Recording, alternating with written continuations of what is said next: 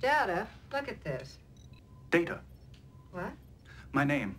It is pronounced data. Oh? You called me data. What's the difference? One is my name. The other is not.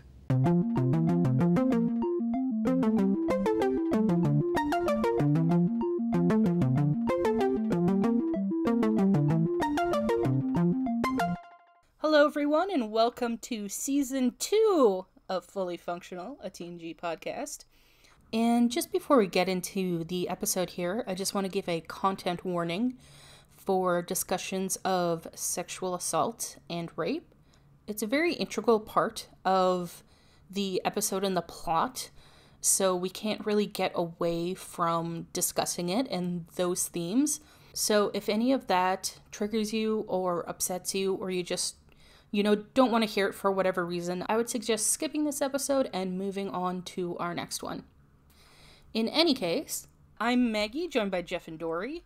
Yo. Jeff and I are huge Star Trek nerds. Dory is a Star Trek novice, and we're going on a journey through Star Trek The Next Generation. Today we are talking about episode one of season two, which is called The Child. The original air date November 21st, 1988. And yeah, this episode is Something. a, a doozy. Uh, it makes me furious. But we are going to start with a recap from Dory. Okay, hold on to your butts because I'm mad. I'm very mad. Okay. Big mad. Yeah. okay. All right, so we start off on. Uh, oh, it looks like there was maybe a bigger budget at the beginning of the episode because there's like the shuttle in like a room we haven't seen before. Okay, so like I'll get into all that later, obviously. the. Oh God. Okay. I'm sorry, Dory. Yeah, this is not a good intro to season two. Yeah. Uh okay. So let's let's skip a little bit. Okay. First, there's obviously been some kind of time jump. Don't know how long, but enough time that Riker has a beard now. Mm-hmm. I'm undecided how I feel about it. This is also might be the uh, the most times I've written in capital letters in my notes um of an episode ever cuz there's Yeah. a I yeah, lots of capital in my notes this, I, this I would just like to give you a little bit of heads up regarding the beard.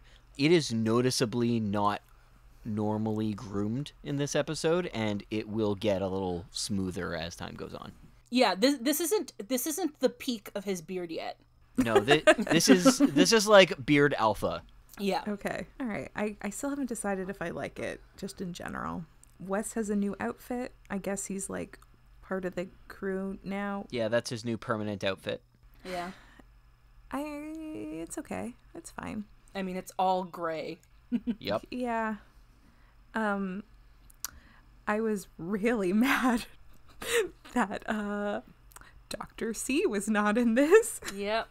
Uh this better be temporary or else I'm going to throw uh something at I, I'm mad. I this better be temporary. Well, she's working at Starfleet Medical now. I don't care where she's working. She better get her ass back to the ship and be Oh. the awesome, awesome person. So, w- would you like us I- to like actually tell you if this is temporary or not? Yes, please. Yes. Okay, this is temporary, Good. but she won't be back this season. No. Yeah. She does come back, but The background behind it is that supposedly she and Maurice Hurley did not uh, really jive, and he wasn't super interested in renewing her for the series. So they asked her if she'd like to go, and she was just like, "Sure, I guess, fine." So she left, and they replaced her with Diana uh, Muldaur, who uh, is playing Dr. Pulaski, and she was a veteran of Star Trek. She had actually played two doctors on the original series. yeah. So that means basically the equivalent of a real life PhD. It's Sure. basically a real life doctor. Sure, I mean they were like one episode doctors.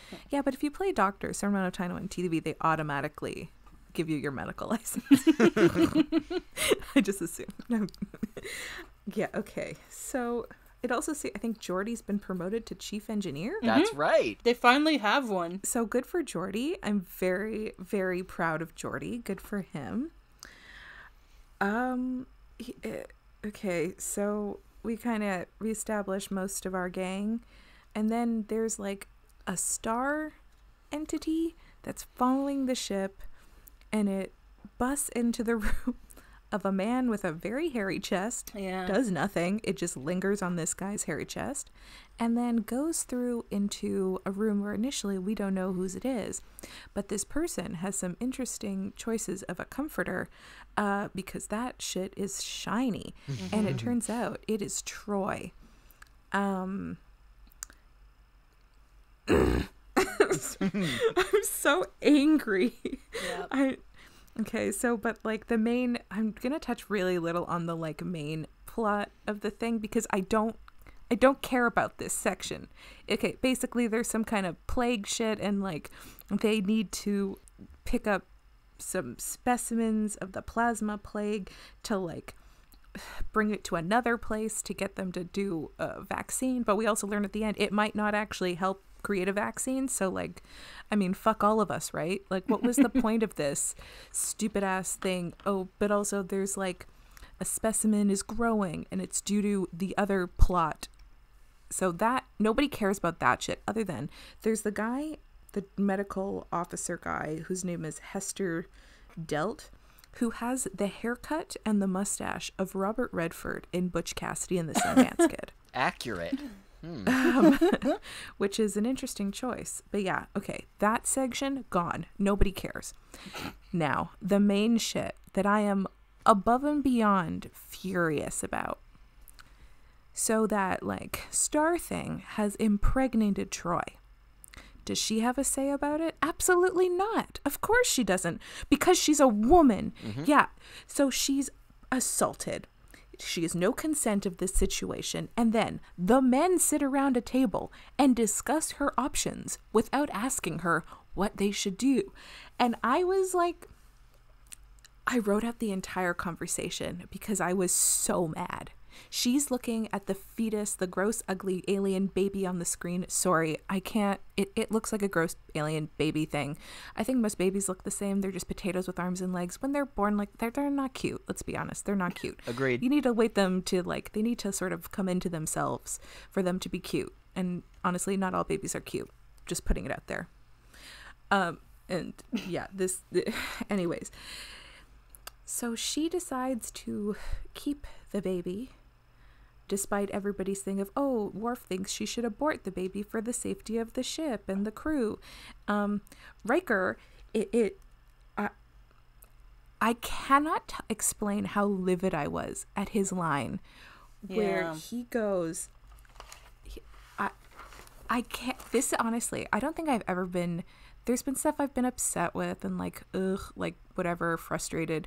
I have never been so mad while watching episode. I he, Riker goes Worf. You ca- this is after he's like the baby should be ter- the fetus should be terminated. Riker goes Worf. You can't assume the intent was belligerent. She was impregnated against her will. Yep. Exactly. Fuck you, Riker. Fuck you, Riker. Mm-hmm. In this, ep- fuck you, fuck you. F. Honest, I was so mad that everybody was having this conversation just about her in front of her, and then she has the baby. And on, I will say, the delivery scene was simultaneously very sweet and also the weirdest fucking delivery scene I've ever seen in my life Yeah. because like everybody was there and i'm sorry like i do not want if i ever have kids there will be nobody in that room other than the doctor i don't want any because i also want to be 1950s drugged up if i ever have kids Yeah. like i want to, it to be birthed and be like oh i have a child i don't want pain i'm bad with pain but anyways there was so many fucking people in that room there was Worf and his two the two other security guys one of which is the hot guy from season one who's popped up a couple times so Hey. hey yeah, I noticed that. and yeah data's in there which i i liked the data stuff with her that was that was sweet Yeah. and then Riker just like standing creepy in the corner staring that man does not blink He never blinks, and I think that's why I like can't decide if I am attracted to him or not because he doesn't blink. He looks like a husky half the time. He's just staring at you. The blue eyes. It's it's intense. So she has the baby. Things uh, seem to go well. She doesn't experience any pain, so like I guess that's good.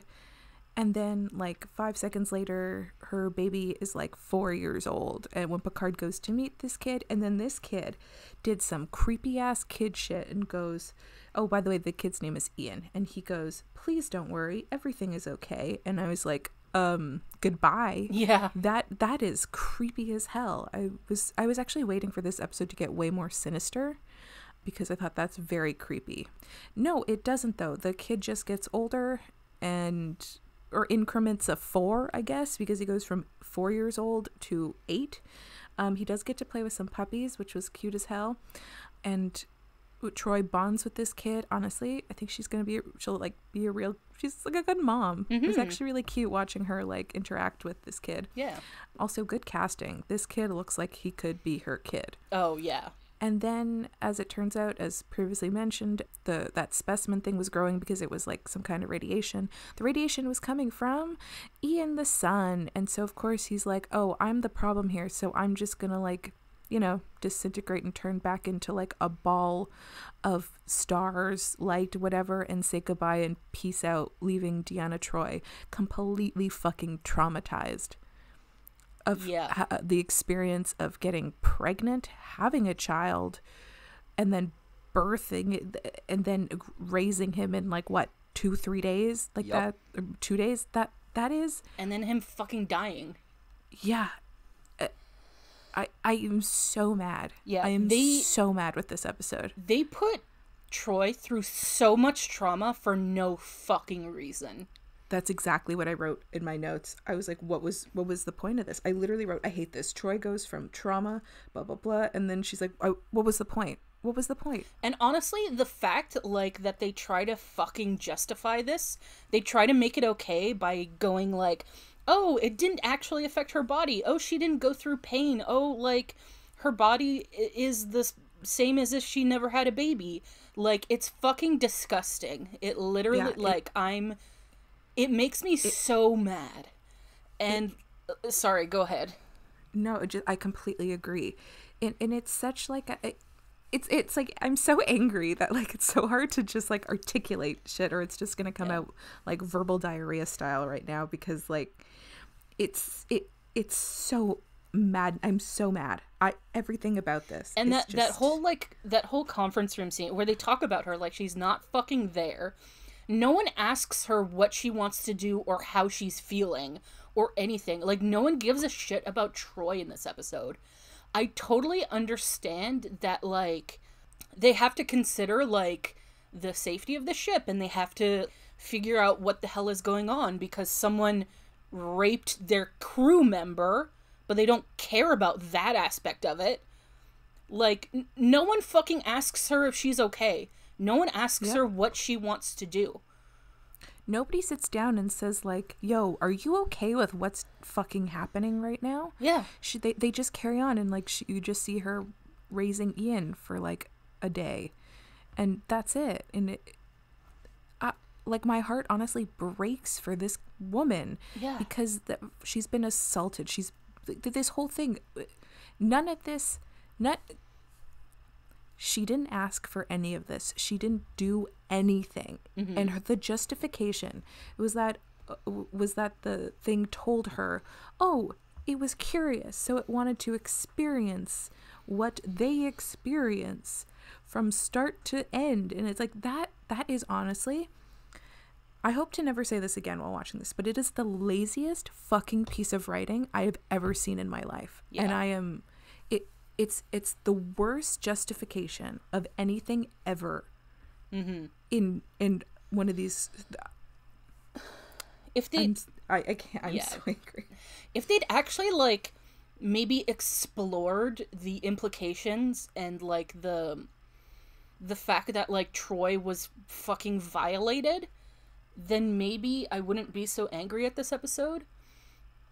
Even though just- like the uh, rape always has to be a part of a woman's story for some reason.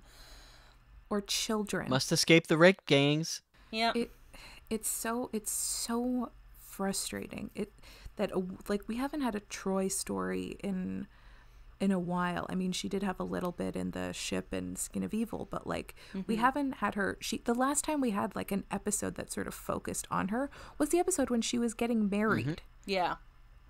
And that we go from her her story is go getting married to her being assaulted and having a child. Like why are those the stories for women? Yeah.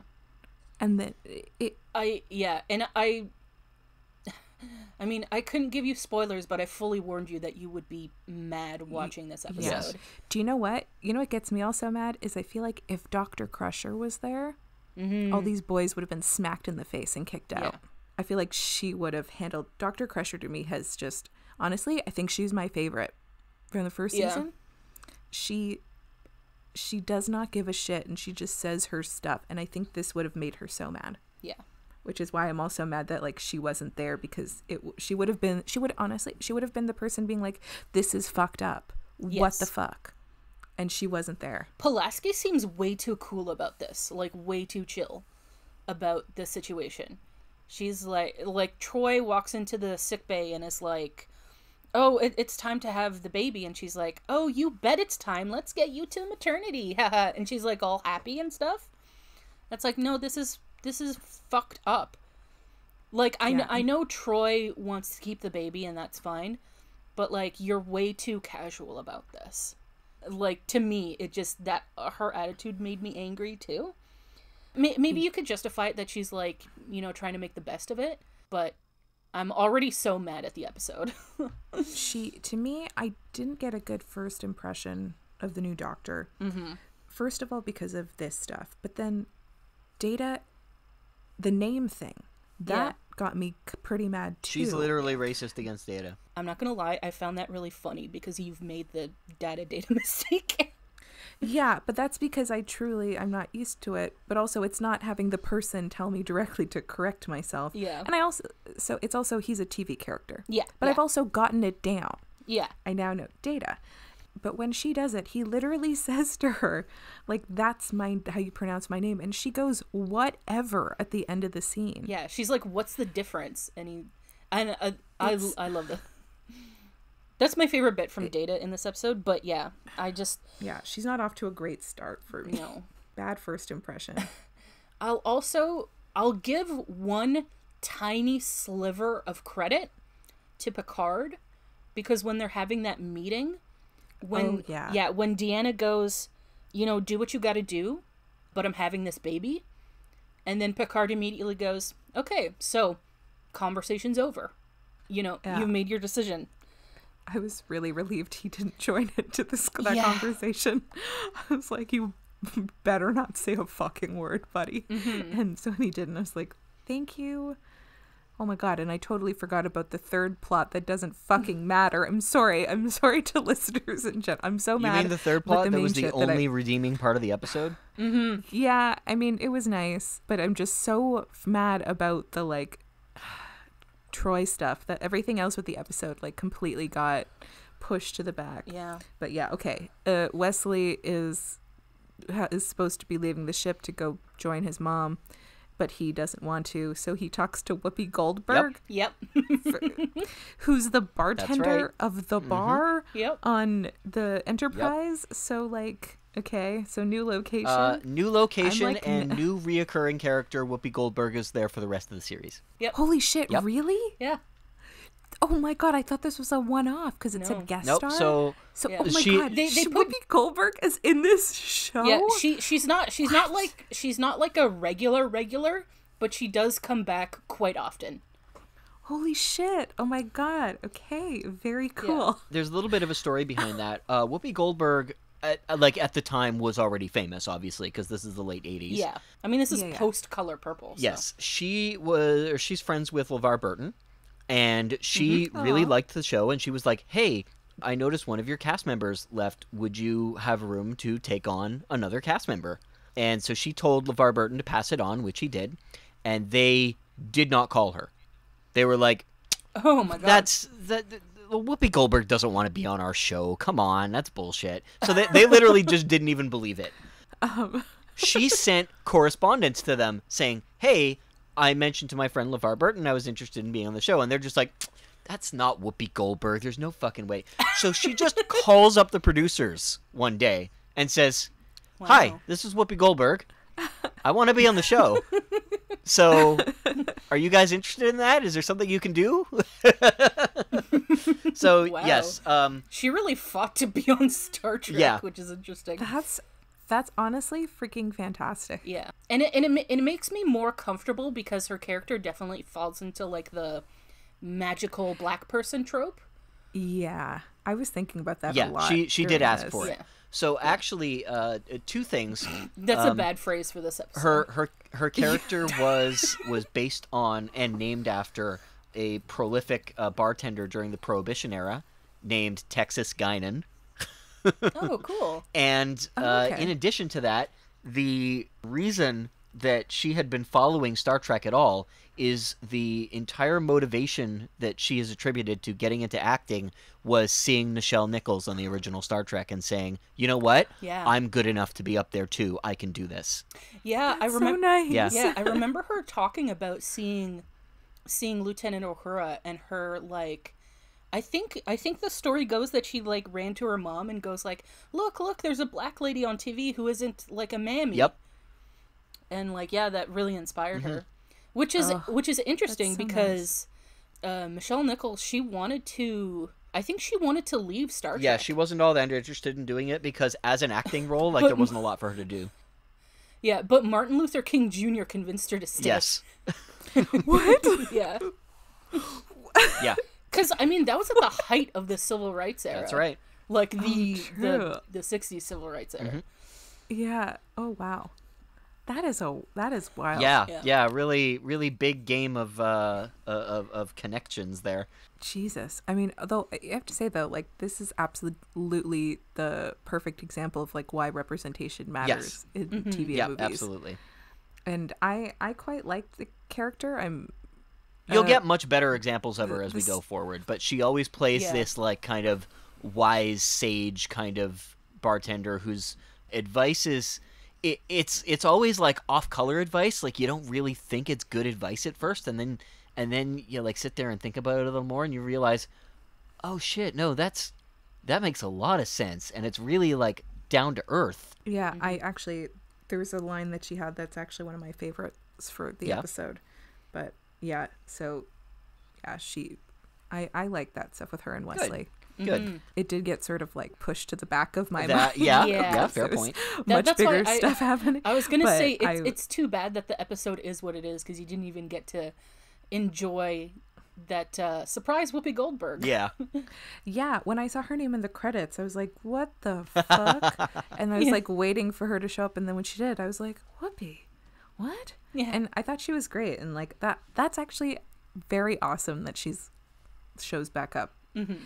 That's great. That actually like, that's nice. I'm happy about that. Yeah. But yeah, it it sucks that it's her her nice plot line with Wes is sort of overshadowed. Yeah. I'm also mm-hmm. really happy though that Wes is staying. Yeah. I was it's weird that scene where they're talking like not when he's at the window but later on when he's at the bar. It it to me Did it feel flirty? it did. It did feel flirty. Yeah, it was a little That's awkward. exactly Not on her part, but on his part. Yeah, it felt for like he was flirting with her. Yeah. And the thing is, is like I I looked up how old Wil Wheaton was because I'm like I don't know how kosher this Oh, is. he was like 16. he was 17. Ah, okay. Yeah, so it's not great, but it's one sided, so understandable that he Yeah, has. she was pretty chill, and If she- he just yeah. Also, if you were in that position, wouldn't you hit on Whoopi Goldberg? I would definitely have a crush on Guinan. I think. I mean, I can't I can't blame him for having a crush on her. Yeah. So the the background of this episode is a little bit weird. Yeah, I'm sorry. You've been trying to get to this, but we've been ranting. No, that's okay. you. I uh, there's a lot to rant about in this episode, and it's sad because the background of it kind of explains the position that the whole fucking episode took, which fucking sucks. Yeah. But remember how I mentioned last season they were having problems because of the writer's strike? Yeah. Writer's strike was six months long, and it started in 1988, Mm. and it dug into a bunch of this season, and that's why the season is shorter.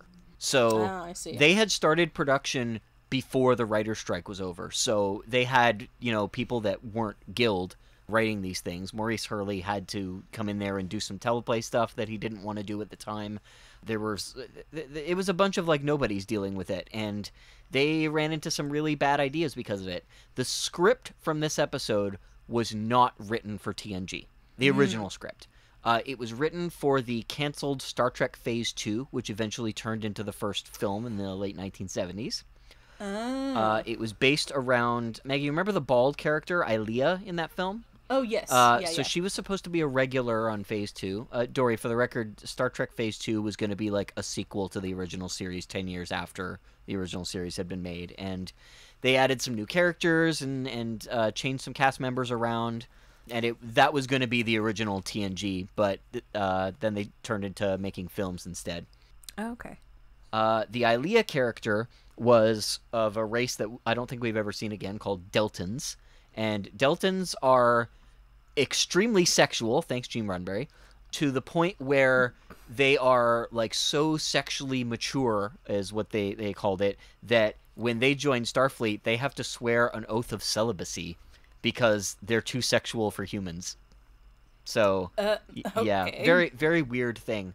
So, Ilia being pregnant was supposed to be this like major irony of the story because she was the character that uh, that that all of this happens to in in uh, that episode.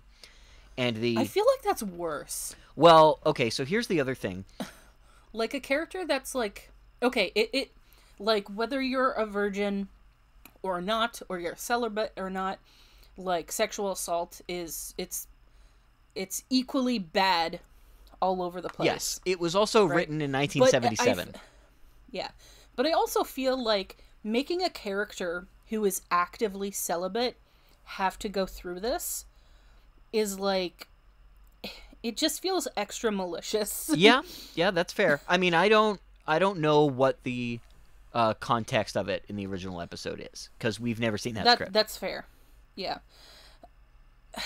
Okay, I know in their heads they weren't trying to be malicious, but like it is. yes. And a writer strike is not an excuse for a horrible rape story where people don't care about the victim. No. Well, also very different standards for that sort of thing, unfortunately. Yeah. So, the entire character of Deanna Troi was actually very much based on what they originally wanted for Ilia. So, Ilia also Mm, yeah, I had that. had like uh what was it? She was called an Esper, which is like a weird name for like psychic people that they would use back in the in like 60s and 70s sci-fi. Uh, I think they Mm. That's a cool word, I gotta admit. yeah, I think Yeah, they yeah, actually like did use too. it in one episode of the original series, but it wasn't a very good episode, so nobody remembers it. I'm kidding; it was actually a, a decent episode. It's it's well remembered. Anyway, so Well, isn't there a literally an episode called The Empath? yes, there is, but that one's a little bit different, I think. Um, The the Esper thing, I think, had to do with the pilot, but I don't remember the exact details of it. But they're also not completely clear on what an Esper is. It's like, oh, they're kind of psychic, but they also have like psychokinet uh, or psychokinetic powers, and it's like, can can you guys like pick a thing that that these people do? Because every time that they feature something like that, they give them like different powers, but they give it the same name. I don't know. It's strange. Anyway, so yeah, uh, Deanna Troi was based off of that, and so that's why they did this whole thing to her because they're like, well, it's basically the same character. Yeah, Yeah. good times. So let's do this shitty storyline to another character. Yes, yes, exactly. That's like, that's I mean, they didn't have writers; they didn't know what the fuck to do. Yeah. And it's men. They probably didn't realize how horrible this was. It, yeah, it is men. and also with our, our modern lens, we're like, what the fuck? Well, if it makes you feel any it, better, it definitely like wasn't good back then either, No. but it's like extra horrifying now. if it makes you feel any better, uh, Marina Sirtis is very amused by the fact that her pregnancy belly was made with birdseed. Why? I don't know. What? She just found that funny and has pointed it out a few times over the years. I mean, they could have just used foam. She's like, she has a belly for like five seconds. Yep, I know. In this episode. Apparently, there's a bunch of cutscenes in the in the final episode too. So there's that. Yeah, I don't doubt it. Mm-hmm.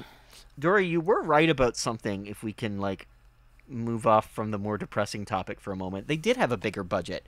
They redid the carpet on the bridge.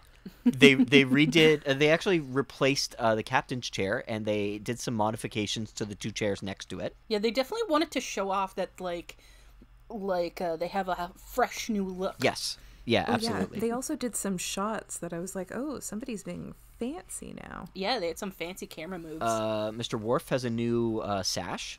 Yeah, it's an, it's a nice. Mm-hmm. and he's uh, in the yellow uniform now. Yep, yep. Uh, his new sash is uh, apparently weighs about twenty pounds. It's a metal one. Oh Yep. boy. Hey, that's okay. It, it's Michael Dorn's a big, strong guy, so you know why not? That's why they made him a Klingon. One of the things that I found the most disappointing, and I pointed out uh, something along these lines uh, when we were going through season one, Geordi has now lost his sass. Um, you won't see that Yeah. much from him anymore now that he's a more serious character, and they're trying to make him less of like a junior officer type. No. Yeah. But I love the woo Yeah, you're Yeah. not you're not really going to get him letting his guard down to that level anymore. But they do something different with him instead, which I believe you'll enjoy. I hope Yep. so. I like Geordi so much.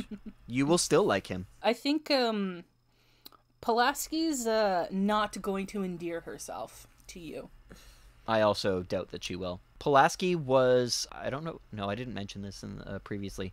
Pulaski was trying to be a throwback to the Doctor from the original series, who's kind of like he's like a crotchety douchewad, um, who's Yeah, he's like a crotchety southern doctor. Yeah, yeah, and so Yeah. they were trying to kind of go, or uh, trying to go for that with her, and it obviously was not successful. By the end of the season, apparently Diana Muldaur really had no strong feelings one way or the other, and the rest of the cast had no strong feelings uh, towards her or against her one way or the other either. So she ended up parting ways. Ugh, good. So you get her for this season, and you don't even get a proper goodbye, or or ever a mention again, like she never existed, which is pretty Yeah. funny. And the, the thing is, is like they're trying to establish a McCoy Spock dynamic with Pulaski and Data, because Doctor McCoy, his whole deal was that he like him and Spock were like frenemies, Yeah, and he'd like he was straight up racist to Spock. Let's Oh, yeah. not mince words about Yep. it. He'd call um like he'd call him like a green blooded half breed and shit like oh that. my Like God. yeah. Jesus Christ. But this was the 60s, so it was in the name of like that's their friendly ribbing or whatever. yeah, Like, exactly. People don't even look at it now and say like, "Oh God, he was so racist." It's more like, "Oh, that was just what the mentality was." yeah.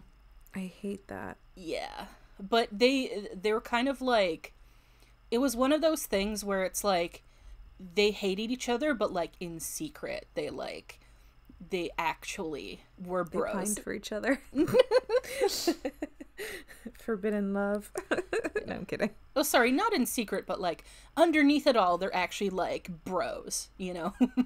that that was kind of the dynamic, but it fails because uh, Dr. McCoy, he doesn't like Spock's attitude and he doesn't like uh, Spock's cold logic and that kind of thing. And he, like, yeah, he's a little racist, uh, like, well, a lot racist against Vulcans. But he still kind of respected him as an officer and as like a sentient being. Dr. Pulaski. Sentient being. yeah, but Dr. Pulaski is so condescending and so dismissive of Data, who is also like just practically not a smart move to have her like trying to dunk on a fan favorite. Yes. Yeah.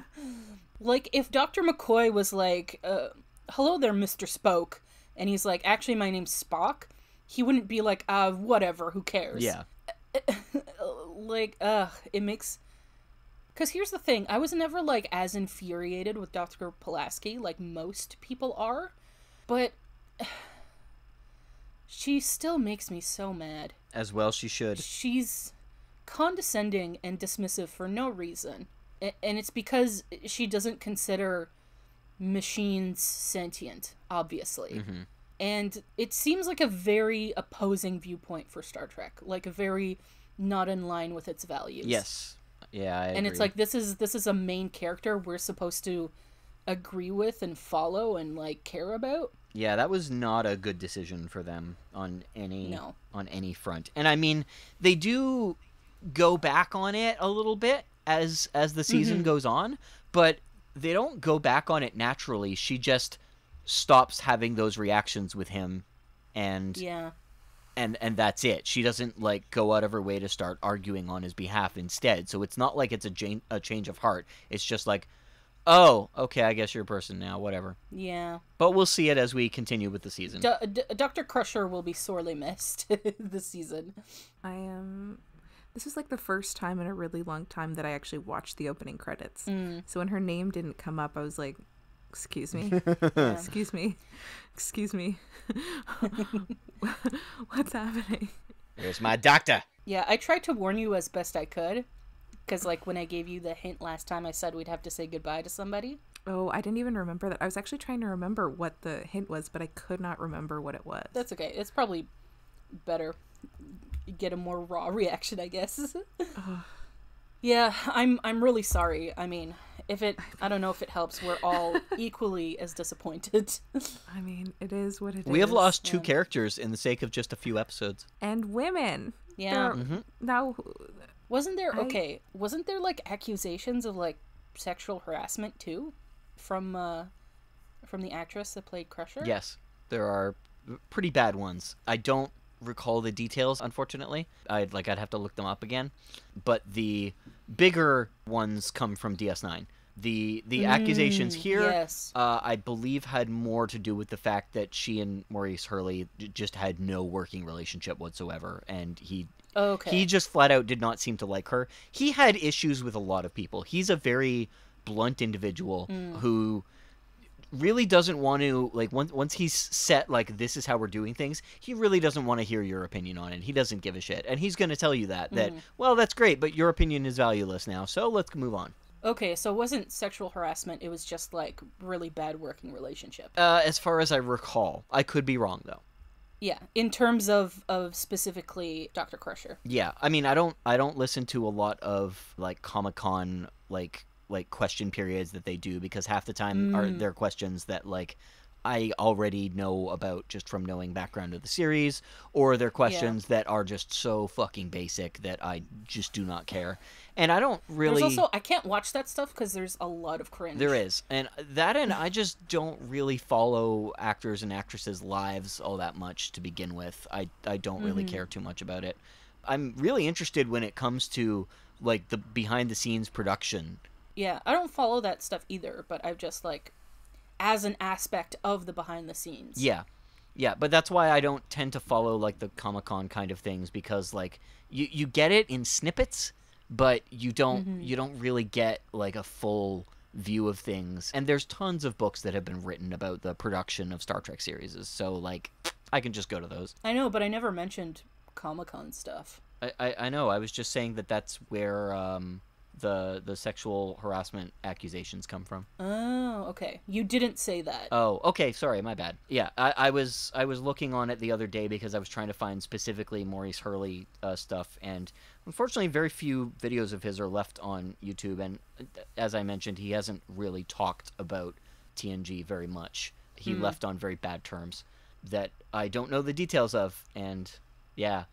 Hooray! All of this drama that we don't know the end of. We just know that he had a lot of problems with people, and when he left, more people were happy behind the scenes than people who were sad. But yeah, when he left, he gave the reins of the show to Michael Piller. That's at the beginning f of season three, and he requested uh, Gates McFadden come back Uh, okay. Because he he liked her, and they didn't want to keep Diana Muldaur anymore because she wasn't vibing with anyone. Yeah, because if, if they never brought Dr. Crusher back, then like, Why have his or her son? well, no, not that, but just like, but Picard and Beverly, Yeah.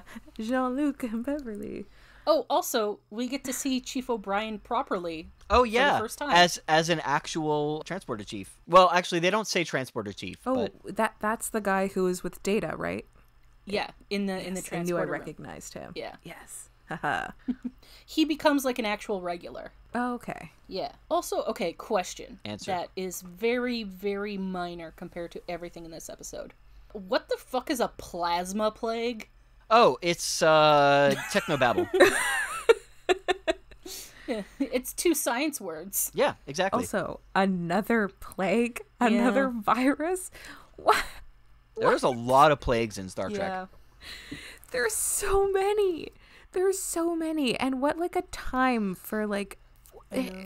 I feel like it's an easy plot line to do, and it doesn't help that we've been watching these episodes like so During like back to back and stuff. Yes.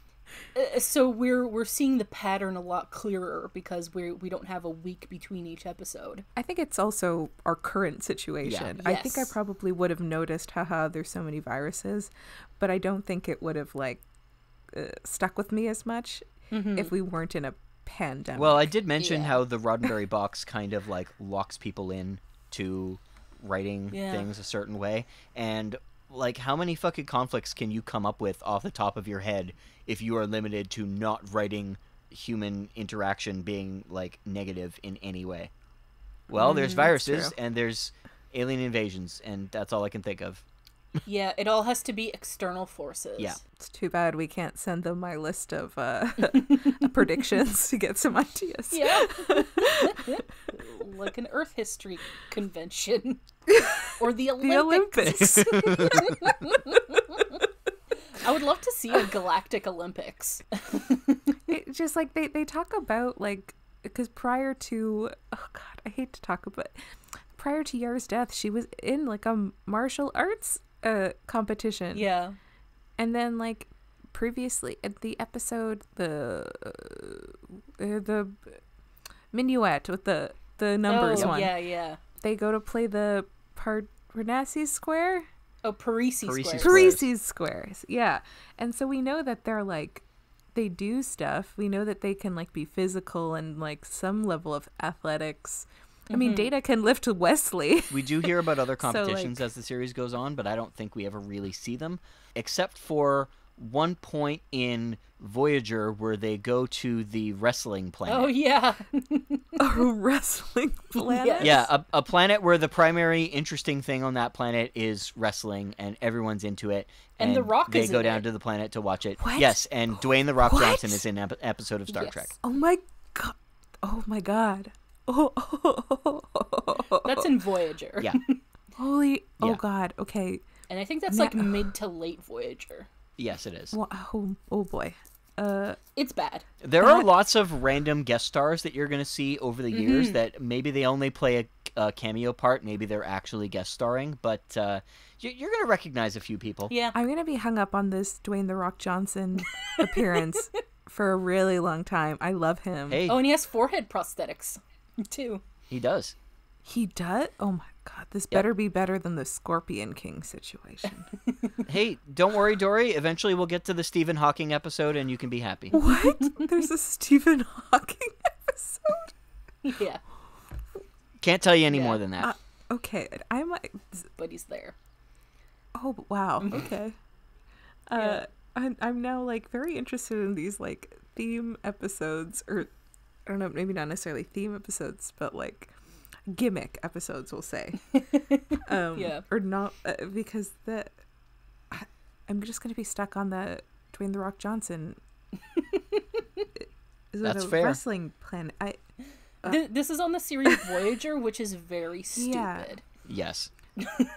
I and here's the thing: I don't care really about wrestling, Mm-hmm. but I Dwayne the Rock Johnson. Yeah.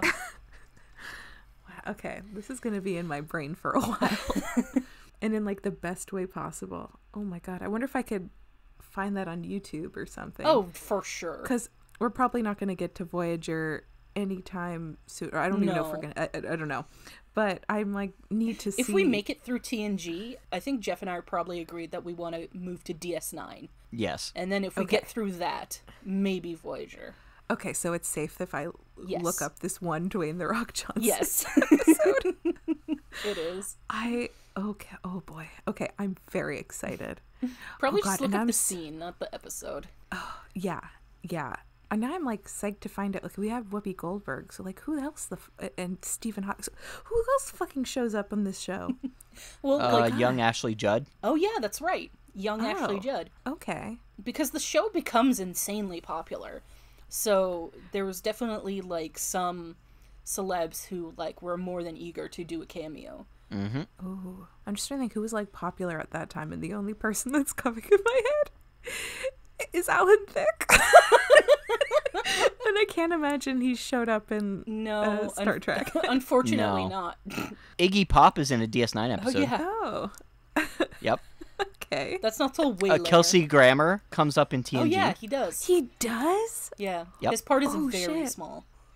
Oh, Yep. wow. Also a younger Famke Janssen. Oh, okay. At first I was like, who? Yep. Okay. Um, I uh, yeah yeah from um, X Men. And a very young Kirsten Dunst. Oh my Oh, god. yeah. Because this, is I guess around um, Little Women and uh, Interview with a Vampire. Yeah, Like early I, I nineties. yeah. was supposed to. Yeah. Yeah. that's right. Damn. Oh, I'm a fan of hers. I think she's very underrated. Especially we should get to favorite moments or just anything that you want to touch on that we haven't gotten to yet. yeah, I know with I- this, you know, favorite besides the obvious, very bad, awful shit. Okay, I do have three things I liked Mm-hmm. about the episode. The first one, and most important, those puppies.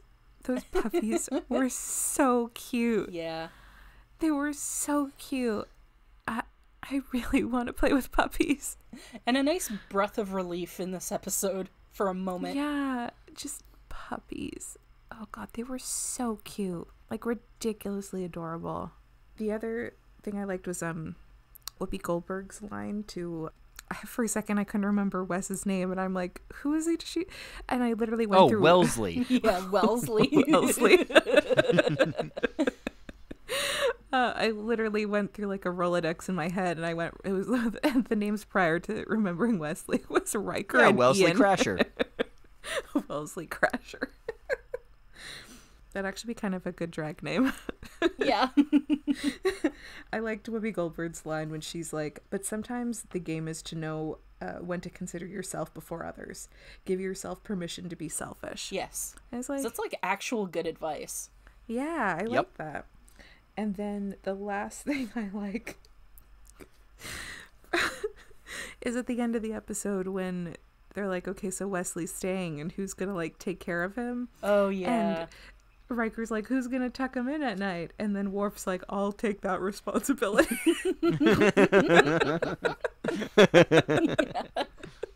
I just like, it's like Riker just looks at him and Worf's like, yeah, okay, I'll do it. I I liked that a lot. Uh, but other than that, uh, yeah. No. yeah. I, I think you are forgetting the most important part of the entire episode, and that is when Picard comes onto the bridge. Or sorry, Picard is stepping off the bridge just as Wesley is stepping onto the bridge. Wesley notices that Picard Oh. is stepping back onto the turbo lift with him and does a 180 right there and steps right back on that with him. whole that whole awkward So elevator awkward. ride is Yeah. amazing. there's so much Yes. silence and just weirdness. And when like Picard tries to put some distance between him and Wesley, and Wesley just like, you know, doesn't let him do it, like walks Yep. towards him. Yep. I love like so that. awkward. Yeah, that whole awkward elevator ride. I love. I love that. Yeah, it's pretty fantastic. And like, okay, it makes me mad, but I do love that bit with Dr. Pulaski and Data about how to say his name because I like Data's line. Hmm. Because she's like, "Oh, Data, can you like get me something?" And he's like, "Oh, my my name is pronounced Data." And she's like, "Oh, what's the difference?" And then he says, "One is my name, the other is not." Mm-hmm. And then she does some like really annoying condescending shit after that. Yes. Yeah, she says something about bruised feelings, And she's I like, oh, no, it's "Oh." his name. Is there a circuit for bruised feelings? Like fuck Yeah. off. It's his name. He can correct her. No, it's Yeah. his it's his name versus not his name. Yeah. Get over it. Like I've had my name spelt wrong majority of my life, and it's, It's not like that really hard. annoying. It, yeah, but a lot of people spell my name with like an I at the end. Oh, I have that too. and so like the amount of times where like i have to correct people of like it, and I, I don't have a weird name but i feel Yeah. bad for like the people who do have names that like maybe you're not used to hearing hear as much that like people have to create nicknames or whatever because people won't put in the effort to learn somebody's names. Like we'll learn Leonardo DiCaprio and like we'll learn like all these complicated actors and actresses and singers' names. We won't learn like a regular a person Yeah. that we know in person. We won't learn how to pronounce their names properly. Mm-hmm. Like it's it's kind of ridiculous. Like if we can learn Saoirse Ronan, like Yeah. Jesus, we can learn other people's names for fuck's sake. Especially names that are like in reality not actually that hard. Yeah. Like there's certain names like um I, I I can't think of like a direct example, but there's certain names where like people have had to shorten it and I'm like, but your your actual name is not hard. I have heard many of those. All right, so we should move on to predictions then. Your first prediction of season 2. Actually no, not actually because you had one at the end of uh the last episode. Our last Your first prediction of season two, except for the previous prediction of season Yes. two. but your first prediction in act after watching season uh, season 2, after starting season 2. Okay, so the next episode is called Where Silence Has Lease. Where silence has what? Lease. Lease. Lease? Yeah. Yeah, as in rent. What? Yep. Yeah. Okay. Don't worry about it. It's it's a dumb name. And so your hint is is that we have a really cool sci-fi mystery, a really cool space mystery with a very dumb conclusion. I already forgot the name of the episode other than the lease part. Where silence has lease. Where silence has le I Okay, I'm no expert in grammar uh or English in general, but that sentence, that title makes me so mad. It doesn't sound right. Am I wrong? Yep, I It- agree. It just doesn't sound grammatically cor- correct. I think it is technically, but yeah, it's it doesn't it just doesn't it sounds wrong in Yeah. my ear balls. Um I forgot what it's I don't remember what it's called. they're drums Um, eardrums, yes. or canal. You could say ear canal. I like ear balls though. yeah. I could have just said ears. Yeah. Okay, I've got something. It's gonna be pretty bad. Like the end of that episode. No, I'm kidding. I'm um Okay, so obviously silence I'm gonna say it's related, but who the fuck knows at this point? Titles sometimes have been very misleading. Looking at you, Haven. they never go there. Anyways. Okay, so maybe all of a sudden everything goes quiet and it's due to the space entity, but they've taken their like voices or something for something else. It's not just for lols. Th- their voices maybe like power something else. Mm. So it's like a Little Mermaid where they get their voices stolen. Yeah. Okay. So there's an a space Ursula. how, okay, let's just about how much time do we have to talk about the Little Mermaid? I'm just gonna read the entire the entire plot of the Little Mermaid. Okay, who would they all be? Obviously, no, I'm kidding. I'm not gonna do that. Can you imagine just assigning everybody the roles from the Little Yeah. Mermaid? I mean, I hate to do it, but like. Riker would obviously be Eric. Yeah. The same hairstyle. Deanna would be Ariel. Yeah. Yeah. So like Little Mermaid style. Actually, no, Picard would be Ariel. Oh my god, can you imagine? Picard as a mermaid? Yeah. That's gonna be in my script when I write an episode. That's Riker's holodeck just- program. I'm just gonna redo Little Mermaid with Star Trek characters. Oh, okay. Um so their voices are being used to power something or they're being used for to feed an entity that it like does something. Mm-hmm. And I think the like anticlimactic shitty ending is it like doesn't they think it's doing one thing but really it does nothing. this is so bad. This is All so bad. It makes it's It feels like I a Star apologize Trek to the Little though. Mermaid. I apologize to the Little Mermaid and everybody associated with that. Um, but yeah, that's what I got right now. It's not great. But you know what? I've probably made worse predictions. You definitely have. So I'll go just go with this because I have nothing better. All right. So if you want to see if Dory's right, watch along with us. Watch along with us. Listen with us, and join us next time on Fully Functional, a TNG podcast. Goodbye.